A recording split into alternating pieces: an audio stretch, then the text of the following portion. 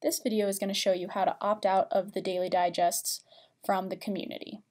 The community is located at community.thesnowpros.org.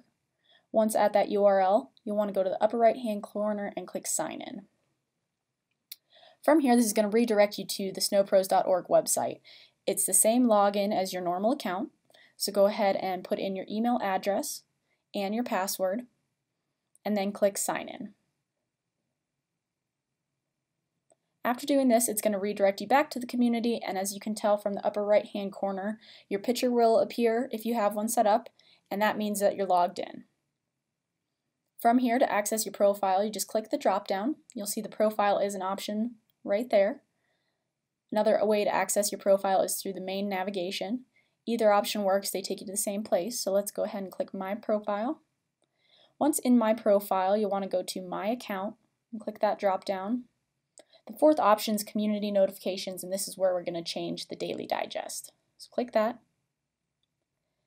From here, you'll see all the groups that you're a part of. Every member is a part of the open forum as a part of their membership. So from here, you'll just want to click that drop down, select no email. That's going to take you out of the daily updates from the group. You will, however, be still a part of the group. You just won't receive those notifications on a daily basis. So after you click that, it will automatically update. No need to press anything else to save it. It's all taken care of, highlighted in green. If you want to still interact in the group, however, you can go to the main navigation and under Groups, select Open Forum. This will take you to that main group. You can still interact, post new comments, post a new discussion topic, always an option, but now you won't receive the daily updates. You can always change that at any time though if you want to go back into your profile, go back to those community notifications,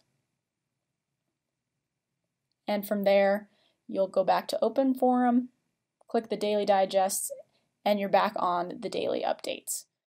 And that's how you change your daily digests.